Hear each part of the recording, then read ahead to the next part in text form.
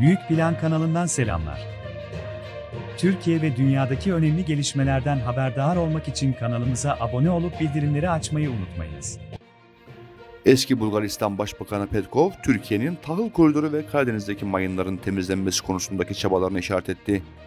Petkov, bölgedeki en büyük ülke olan Türkiye'nin oynayacağı büyük bir rol olduğunu, komşuluk, dostluk politikasının en iyisi olduğunu düşünüyorum değerlendirmesini yaptı. Aktif siyasetin içerisinde olan eski Bulgaristan Başbakanları Kiril Petkov ve Nikolay Denko, Bulgaristan Türklerinin durumunu, Türkiye-Bulgaristan ilişkilerini ve Rusya-Ukrayna Savaşı'nın Bulgaristan etkilerini değerlendirdi. Başbakanlık görevini 2021-2022'de yürüten PP eş başkanı Petkov, iktidarda oldukları iki yıla yakın sürede yoksullukla mücadele ve yargı konusunda başarıları imza attıklarını, Bulgaristan'da doğum oranlarının yükseldiğini ve yurt dışından 42 bin kişinin Bulgaristan'a geri döndüğünü, bunun da uyguladıkları politikalar sayesinde olduğunu anlattı. Petko 1944'te iktidara gelen komünist elitlerin 1989'a kadar Türk ve Müslümanlara yönelik asimilasyon politikalarını ve toplama kamplarına ilişkin dönemin Bulgaristan rejiminin insanların isimlerini değiştirdiğini ve ülke dışında sürgün ettiğini hatırlatarak benim dedelerim de komünizm döneminde çalışma kamplarındaydı dedi. Sorumluların cezalandırılması konusunda Petkov, normal çalışan bir mahkememiz olduğunda birçok şeyin değişeceğini göreceğiz.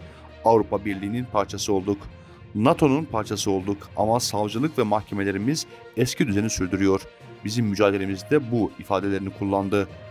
Petkov, Türkiye'nin bölgedeki rolüne ilişkin, bölgedeki en büyük ülke olan Türkiye'nin oynayacağı büyük bir rol olduğunu, komşuluk, dostluk politikasının en iyisi olduğunu düşünüyorum değerlendirmesini yaptı. Türkiye'nin tahıl koridoru, Karadeniz'deki mayınların temizlenmesi konusundaki çabalarına işaret eden Petkov, Türkiye'de oy kullanan çifte vatandaşlara şu çağrıda bulundu. Türkiye'de oy kullanabilen 300 binden fazla insan var. Türkiye için, Türkiye'deki Bulgaristan Türkleri için ve sınırın diğer tarafındaki akrabaları için en iyi yol Bulgaristan'ın istikrar olması, Bulgaristan'ın demokratik olması, Bulgaristan'ın iyi kurumlarla sahip olması ve Bulgaristan'ın kırsal bölgelerdeki Bulgaristan Türklerinin yoksul nüfusunun kalkınmasıdır.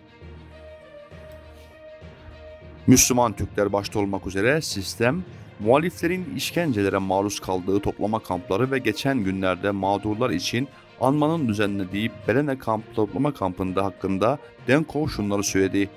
Belene, Bulgaristan'da komünist sistem kurulduktan sonra 1950'lerde oluşturuldu.